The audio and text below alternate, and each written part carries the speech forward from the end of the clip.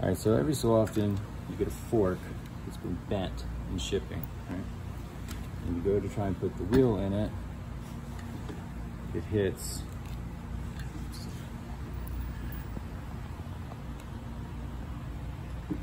right here, it won't go in, and right here. So, let me show you a little trick I came up with of dealing with this. Everybody's got a different trick. Most involve brute force, um, but I feel like this was pretty simple. So this is the axle bolt off of the same size wheel that we're trying to put in. Um, pull it off of a wheel that's been warped or damaged from a bike that's being RTV'd. So this side is normal. This side, we've just flipped the, the nut and the washer so that they go to the outside. Put it in like this.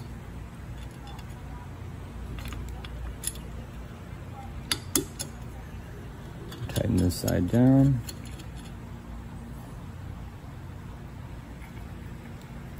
It's nice and snug, doesn't have to be super tight. Make sure that the that the hook washer is in place and then we're going to take a pedal wrench and we're just going to turn this. This is going to force both sides apart um, to create enough space for the, um, the wheel to fit. Thing is, you want to do it well beyond the width that you're trying to achieve because when you bend it, it's going to come back. So say we are half an inch short, but half an inch too close.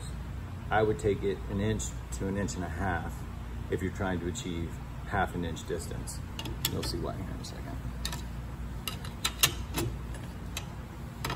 You also, since this is the same uh, axle as the one that is on the wheel we're trying to install, you can look at it to see, okay, well that's a little extra space on this side. So we wanted about, we want to compensate that on this side. Push it about as far as it can go.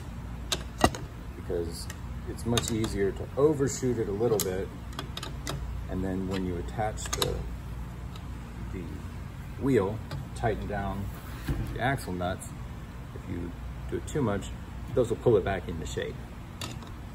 So that's looking like it's a pretty good distance apart now so we'll undo this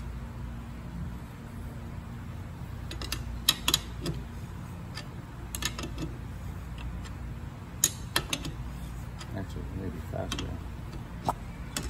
Side off. Nope. All the tension off in the middle.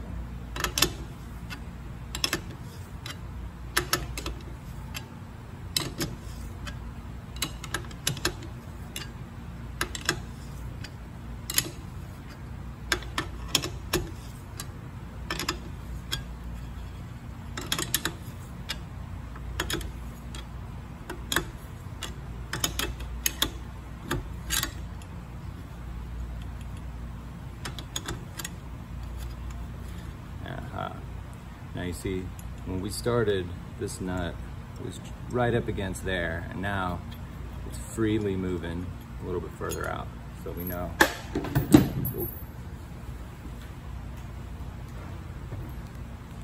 That la oop, washer likes to pop off.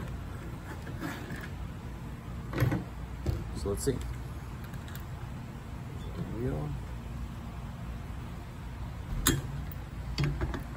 Ta-da! Fits perfectly on both sides. Put washers in, tighten down. Yeah. And there you go.